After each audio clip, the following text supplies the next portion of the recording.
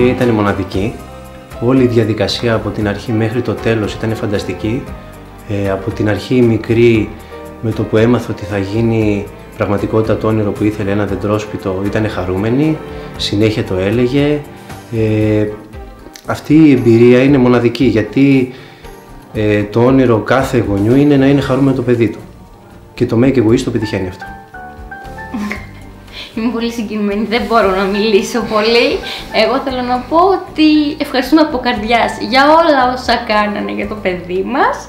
Εύχομαι ποτέ κανένα άλλο παιδάκι να μην χρειαστεί να πραγματοποιήσει ευχή, αλλά και ακόμη αν, αν το, δεν το πετύχουμε αυτό και όντως χρειάζεται να πραγματοποιήσουν, το Make a Wish είναι ό,τι, ό,τι καλύτερο υπάρχει για αυτά είτε κάνοντας διαδικτυακές ε, συναντήσεις, είτε στέλνοντας συχνά πυκνά ε, κάποια ευχαριστήρια δώρα τα Χριστούγεννα, τη στείλανε ένα παζλάκι για να παίζει και ελπίζω να τη χαρεί όσο μπορεί.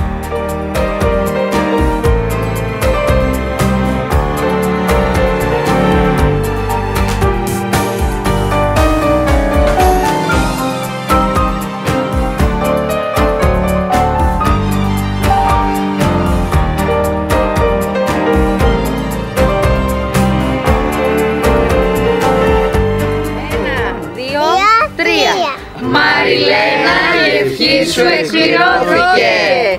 Πίσω το κεράκι. Έχει.